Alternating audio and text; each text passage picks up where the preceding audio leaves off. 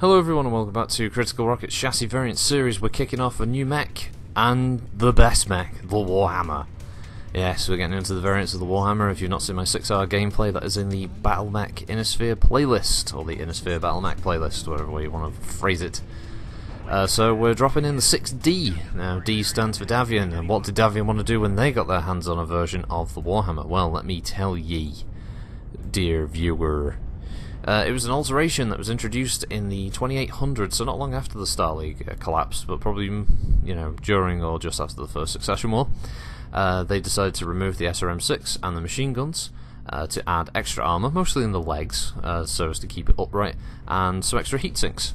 And uh, that was generally the idea around it.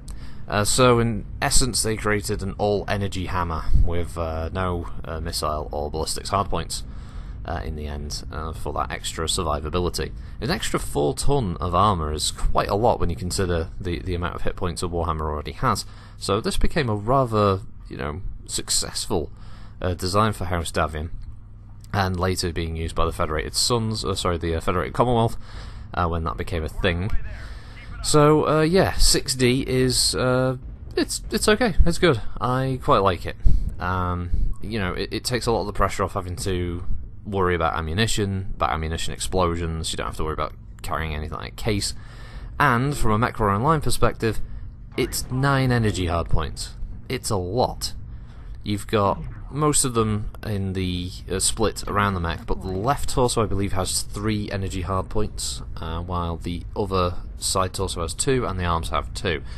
So the mech can basically vomit lasers, and I'm sure many, many people out there today have you know long since come across some kind of laser vomit warhammer that's come up against them, and uh, yeah, it's uh, it's it's an interesting it's an interesting discovery uh, to uh, to bump into something that's firing quite that many lasers.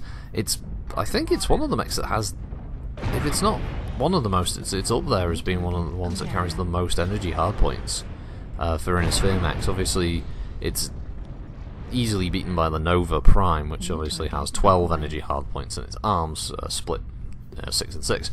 But still, uh, it's an impressive array of, of options available to people. Obviously, the Warhammer's low slung arms means that you always have to keep that in mind when you're aiming, but the torso mounted ones are obviously mounted a little higher up and make it easier for you to be able to take those shots. Um, I mean, outside of saying that it's a Warhammer, you can't go wrong, um, there's not really any other drawbacks. It, it's not a mech that needs an XL engine, but it's it doesn't run bad with them. The hitboxes aren't terrible on Warhammers. They can take a hell of a kicking. Uh, 70 ton heavies are not bad uh, to come up against uh, or to pilot.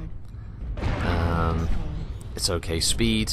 The silhouette is relatively um, difficult. Uh, sorry, well, relatively easy to spot at range. Um, so you have to keep that in mind when you when you're moving across open terrain, because uh, you do present quite a flat profile uh, to anyone trying to snipe you.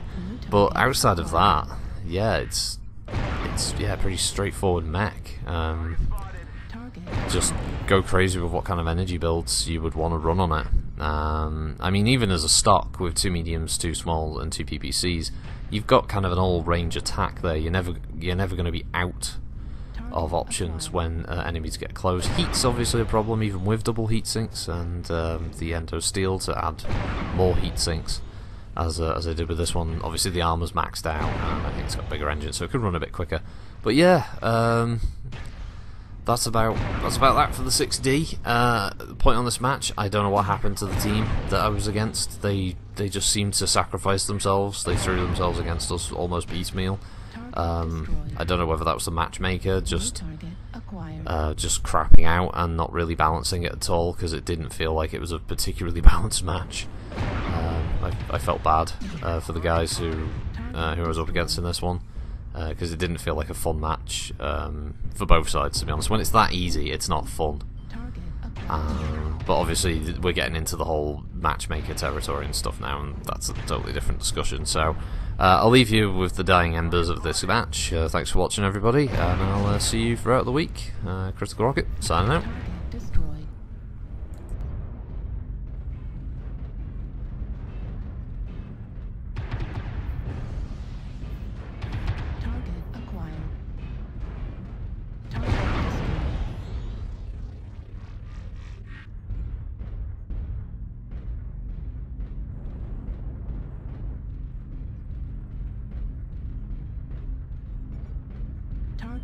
Acquired.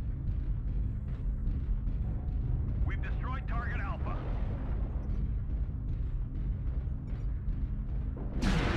New target acquired.